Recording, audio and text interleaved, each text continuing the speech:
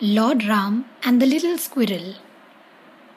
When the monkey army of Lord Ram was preparing for the war with Ravan, they had to build a bridge over the sea. All the monkeys worked very hard. They carried heavy rocks and stones from the mountains to put them into the sea to build the bridge.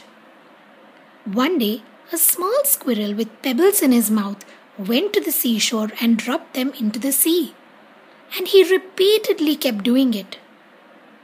The squirrel came in the way of a great monkey who got angry and said, What are you doing in my way? Move! The squirrel said that it was trying to help. The monkey laughed and mocked the little squirrel and moved it away from his path. Lord Ram saw this and held the squirrel in his hands.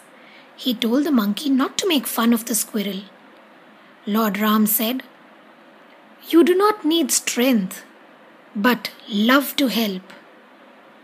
The pebbles have filled up the gaps in between the stones, and it has helped making the bridge stronger. Lord Ram told the squirrel, I thank you for your help.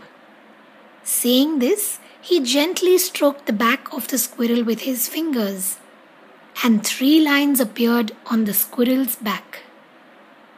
This is how the squirrel got its stripes.